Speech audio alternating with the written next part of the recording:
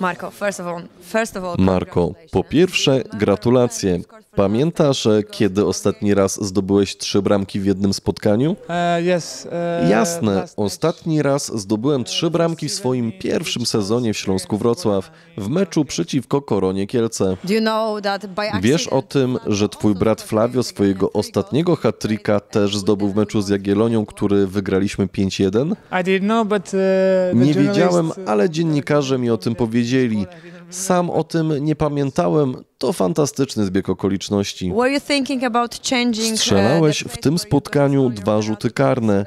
Czy przed drugim uderzeniem zastanawiałeś się może nad zmianą sposobu wykonania jedenastki? No, Wszystko to pewność siebie i spojrzenie w oczy Mariana Kelemena. Grałem z nim w Śląsku, to świetny bramkarz. Czasem trenowałem z nim karne, on wiedział pewnie, gdzie przeważnie strzelam, ale byłem bardzo pewny siebie. Nawet przez moment nie myślałem, że przestrzelę. Skoncentrowałem się na technice i na tym, żeby zdobyć bramkę. Udało się dwukrotnie. uh, to I.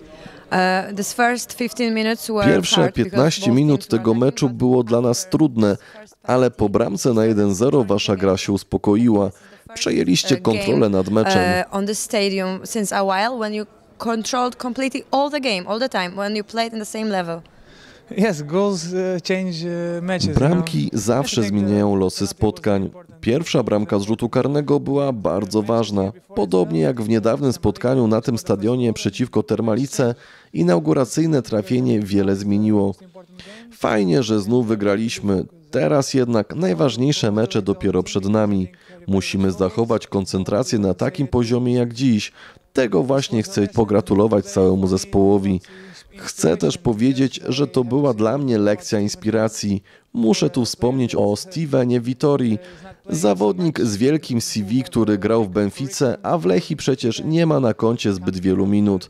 Tymczasem wyszedł dzisiaj na boisko i pokazał, że jest fantastycznym zawodnikiem.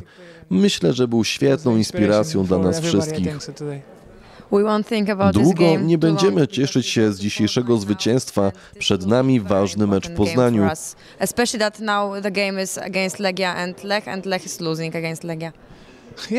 Musimy pojechać na stadion Lecha i zagrać swoje, tak jak dzisiaj. Podjąć wyzwanie, pojechać po zwycięstwo. Najważniejsza jest koncentracja, pozytywne myślenie i wyjazd po trzy punkty. Tego chcemy.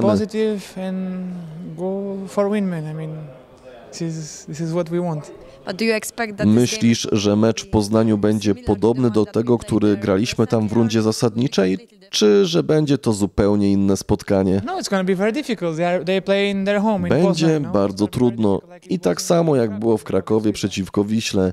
Szanse są 50 na 50. Jeżeli wygramy, to awansujemy w tabeli.